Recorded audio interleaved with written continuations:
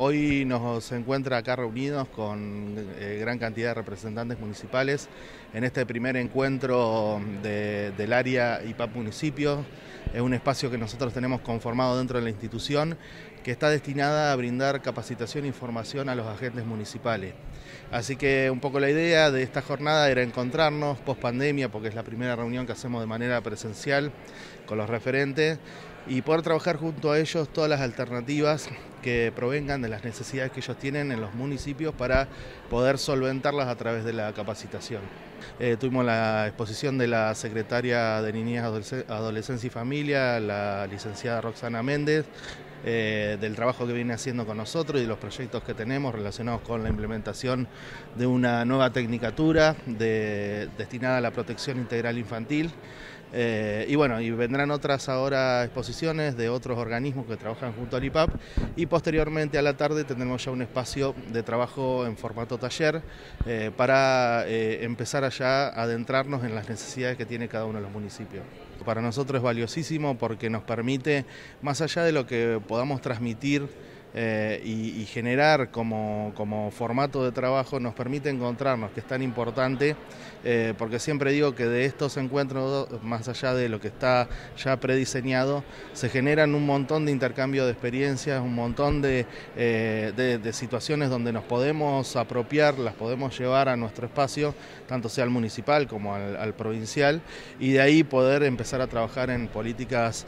directas relacionadas con la capacitación y la formación. Es un área muy sensible, donde se trabaja con las infancias, se trabaja con la adolescencia en situaciones de vulnerabilidad y por supuesto que para poder estar a la altura de las circunstancias que se plantean es necesario que los agentes que prestan esas tareas estén capacitados, estén formados para que puedan, por supuesto, abordar las situaciones de una mejor manera. Eh, la CENAF viene haciendo un trabajo muy fuerte en relación a la formación de su plantel. Eh, ya hemos incursionado en muchas alternativas eh, que van desde capacitaciones específicas a tecnicaturas. Tuvimos la tecnicatura niñez, adolescencia y familia, donde gran parte de, los empleados de la Secretaría la cursaron y, la, y se recibieron de técnicos en, en niñez, adolescencia y familia.